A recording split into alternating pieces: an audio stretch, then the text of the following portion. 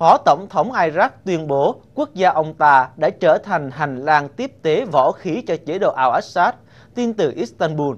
Phó Tổng thống Tarek Hashimi đang tị nạn chính trị ở Thổ Nhĩ Kỳ nói rằng Iraq đang được dùng làm hành lang đưa vũ khí từ Iran qua Syria. Chỉ huy trưởng Mohammad Ali Jafari của vệ binh cách mạng Iran đã lên tiếng xác nhận rằng Iran đang cung cấp viện trợ phi quân sự cho Syria và có thể tham chiến nếu đồng minh Syria bị ngoại quốc tấn công. Trong tháng này, nhiều viên chức Hoa Kỳ tố cáo Iraq đã mở không phận cho phi cơ Iran chở võ khí qua Syria.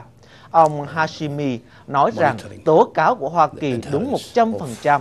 Đáng tiếc, quốc gia của ông ta đang được dùng làm hành lang ủng hộ nhà độc tài Bashar al-Assad. Không phải chỉ dừng dùng không phận Iraq, Iran đã đưa hàng ngàn vệ binh qua Syria giúp ông al-Assad tàn sát dân chúng trong nước.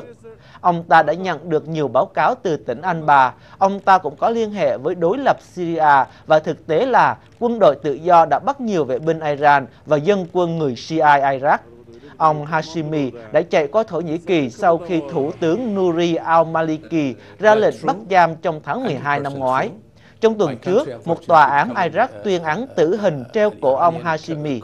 Phó Tổng thống Hashimi, người Sunni, là người mạnh mẽ chỉ trích Thủ tướng al-Maliki, người Shia, nói rằng việc truy tố ông ta chỉ huy các toán xử tử là điều hoàn toàn do động cơ chính trị và tố cáo ông Nuri al-Maliki là một tên khủng bố quốc tế, nói rằng Hoa Kỳ và Liên Âu phải biết rõ về tên khủng bố này. Maliki không chỉ có liên hệ trong việc tấn công tòa đại sứ Hoa Kỳ ở Lebanon năm 1983 mà còn đứng sau vụ tấn công đoàn xe nhà vua Kuwait năm 1982. Ông Maliki còn đứng sau các vụ tấn công nhắm vào Bộ Thông tin và Kế hoạch tại thủ đô Baghdad. Nội bộ Iraq đang tranh chấp giữa ba khối Shia, Sunni và Kurd.